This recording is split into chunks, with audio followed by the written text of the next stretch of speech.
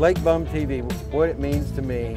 We started Lake Bum TV basically to educate people about Lake Travis, to give them more than just to go out and sell them a piece of property and be gone. I want to be with you for years, not just one deal. I want to come to your parties for years. In fact, there's another customer right Yeah. there. Another waterfront customer.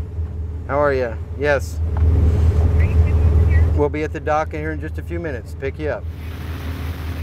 Some people have come out here and bought property, had no idea that this lake fluctuates. They come back in a couple months and what they thought was waterfront property is now a mud pit.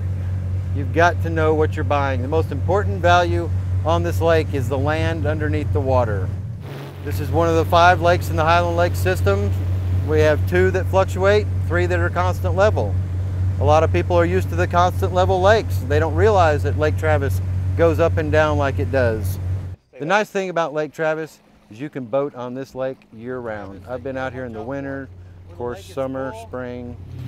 I think one of the best things about this lake, it always rates as the cleanest lake in Texas. I've been with people for three months to three years.